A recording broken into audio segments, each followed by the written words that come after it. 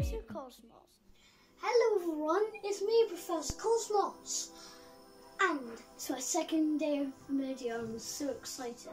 We're going to talk about the solar system today. Okay, so down here we've got our box of solar planets. Can anyone tell me what this is? That's right, it is the sun. Sun is the centre of our solar system.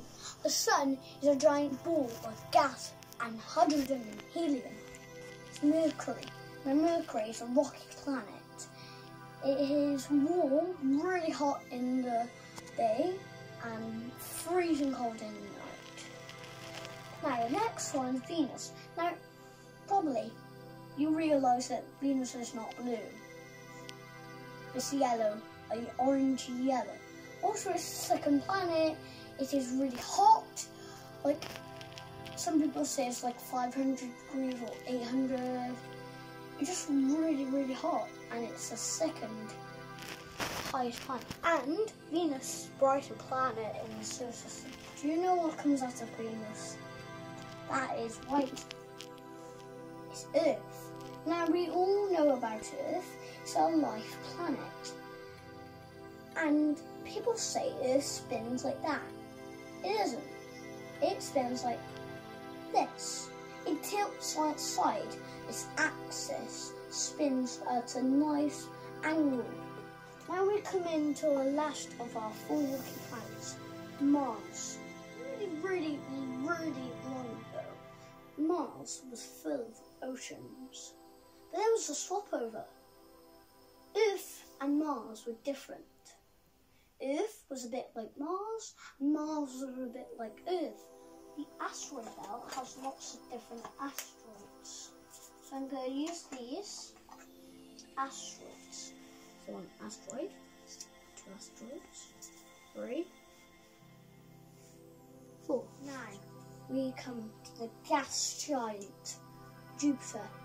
Before I explain more about Jupiter, everyone knows about the Great Red Spot. If you don't, that's okay, I'm just going to tell you about it. Jupiter's Great Red Spot is shrinking. But I don't know why, because I don't know. Scientists are not sure too.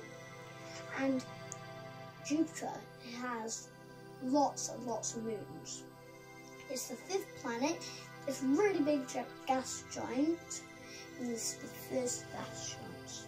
Saturn is famous for its rings, and Saturn is quite strong too. It's a gas giant.